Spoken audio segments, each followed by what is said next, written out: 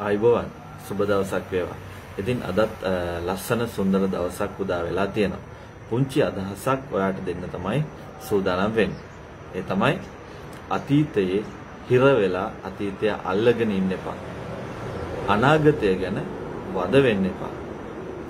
මේ ගත කරන මොහොත මේ මොහොතේ සතුටින් ගත කරන්න පුරුදු වෙන්න.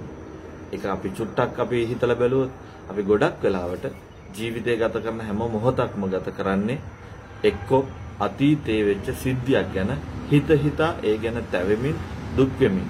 එහෙම නැත්තම් හෙට හෝ නැත්තම් අනාගතයේ සිද්ධ වෙන්න තියෙන දෙයක් ගැන අපි ඊටාම බයෙන් හෙට අනිද්දා මට මොන වගේ දෙයක් වෙයිද දන්නේ නැහැ. හෙට මට කොරෝනා හැදෙයිද දන්නේ නැහැ.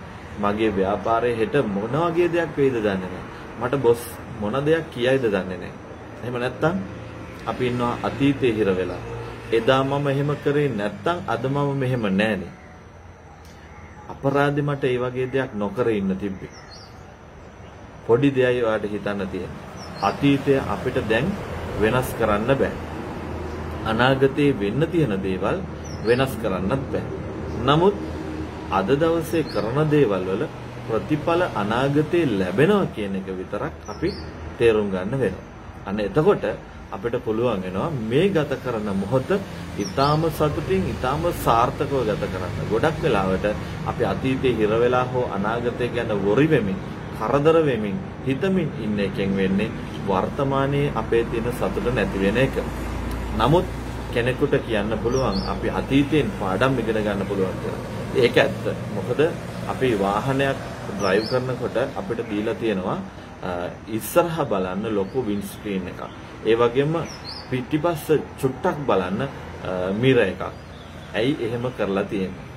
අපිට පිටිපස්සේ දේවල් ගැනත් පොඩි හරි අවධානයක් යොමු කරන්න සිද්ධ වෙන නිසා. ඒ වගේ තමයි අපි අතීතයේ කරපු දේවල් වල අත්දැකීම් වලින් ඒක ගුරුවරයෙක් කරගෙන අනාගතය වෙනුවෙන් මේ මොහොතේ ගත කරනකොට අන්න ඒ දේවල් හරියට අවබෝධ කරගෙන ගත කරන්න මේ වෙලාවේ කරන වැඩ ටික හරියට කරන්න කියන එක තමයි කියන්න තියෙන්නේ. අන්න එතකොට අපිට පුළුවන් වෙනවා අපි අතීතයේ වෙච්ච දුකක් ගැන හැමදාම තැබි තැබි ඉන්න නැතුව අනාගතයේ වෙන්න තියෙන දෙයක් ගැන හිත හිතා ඉන්න නැතුව දැන් කළ යුතු දේ අද කළ යුතු දේ කරන්න. එතකොට අද දවස් අවසානයේදී ඔයාලට හෙට ගැන හොඳ නැවුම් බලාපොරොත්තුවකින් හෙට පටන් ගන්න පුළුවන් වෙයි.